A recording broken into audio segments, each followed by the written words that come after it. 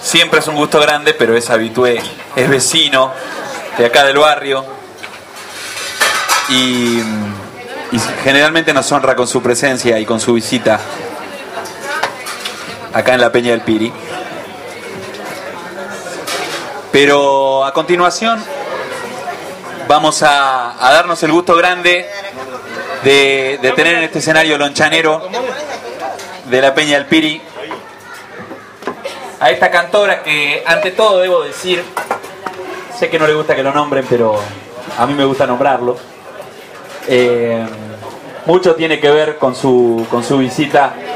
mi querido amigo Diego Vázquez Comisarenco, para quien pide un gran aplauso, gestor cultural de los buenos, gestor, gestor cultural sensible que se ocupa primero de lo urgente y después de lo importante, y, y que hace este trabajo de identificar espacios y, y de, y de tender redes. Gracias. Así que muy válido y muy valioso su trabajo como gestor cultural y como productor. Eh, queremos agradecer a los amigos de Bron Online que están acá cubriendo el- este evento y a los amigos de Ciudad Uno también que han venido a, a cubrir la visita de Yamila Cafrune acá a la Peña del Piri. Y como esta cosa es así medio entre casa, me doy el, tengo la imprudencia de nombrarla antes de presentarla. Es el eco, sin duda,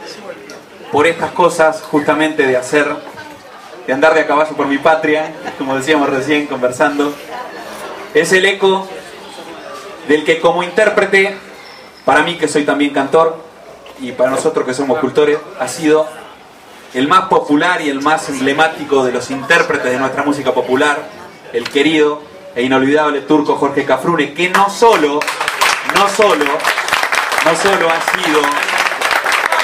un cantor fundamental, sino que además, y aunque no tanto se mencione, al turco Cafrune le debemos el canto de Mercedes Sosa, porque el turco Cafrune la presentó en Coquín aquella noche. Y a Mercedes Sosa